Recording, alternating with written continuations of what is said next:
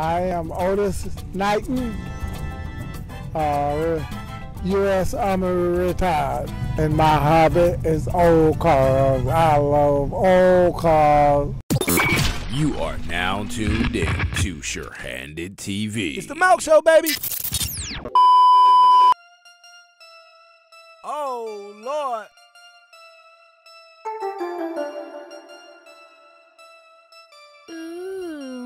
Show.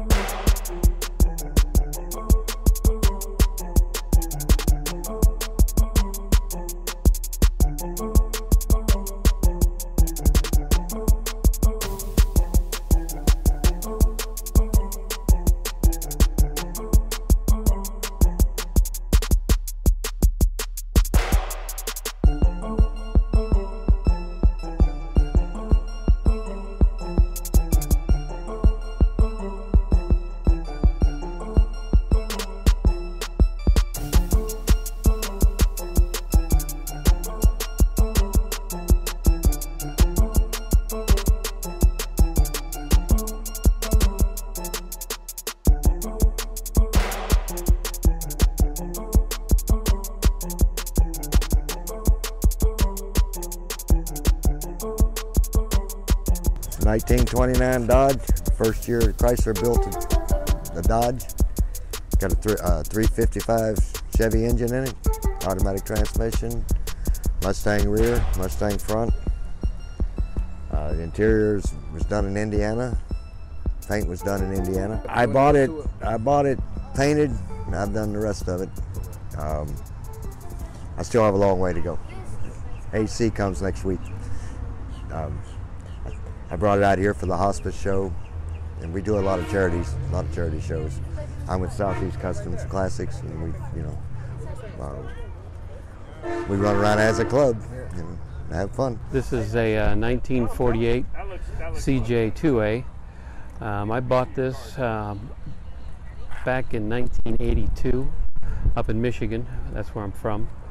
And uh, after uh, three or four years, I uh, put it in the uh, in the old barn, as they say, and uh, moved away. And um, when I moved to Florida in '90, I always dreamed about bringing it down and uh, redoing it.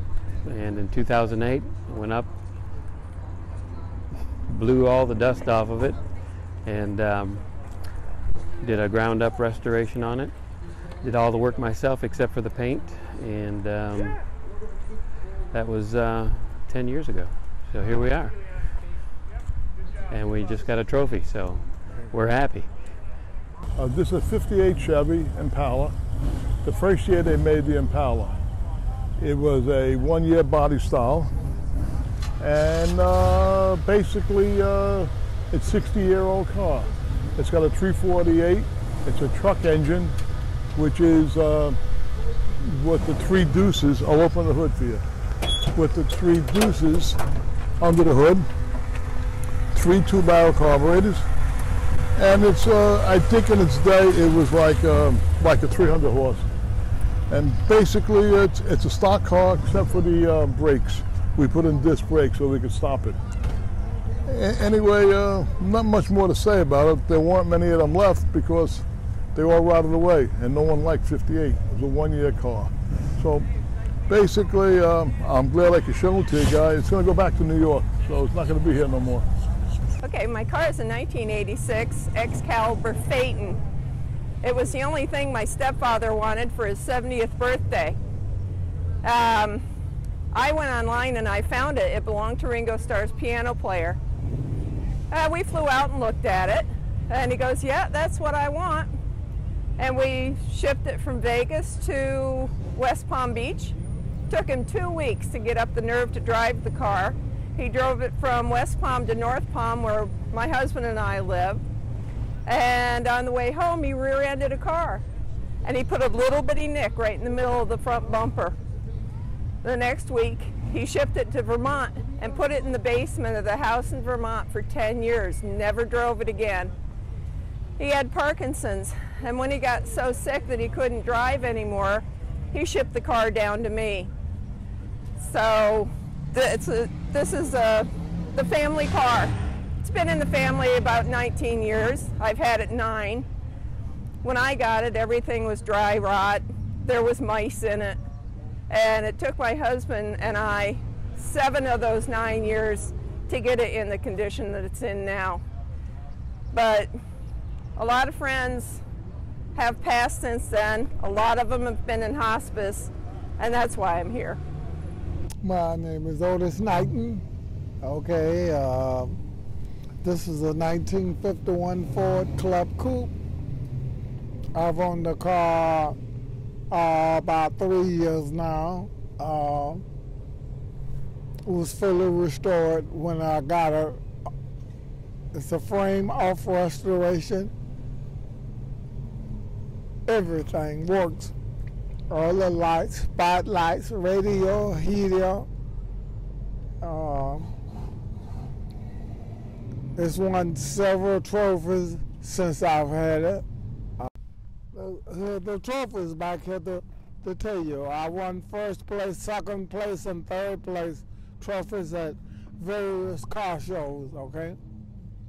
Um, I've been in this for many years now. Uh, I've had one car over in Germany, which was a 1936 Ford, while I was in the military and then from there back here uh, I go to different car shows. Uh, it's a fun hobby. It's a fun sport.